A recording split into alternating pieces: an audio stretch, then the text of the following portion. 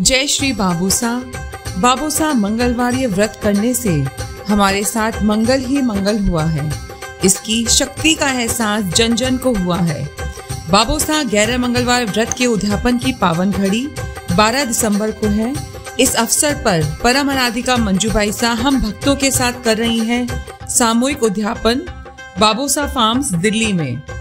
इस कार्यक्रम का सीधा प्रसारण प्रातः 10 बजे से दिव्य चैनल मंजूबाई सा के Facebook page Babosa blessings YouTube channel पर किया जाएगा। जय श्री बाबूसा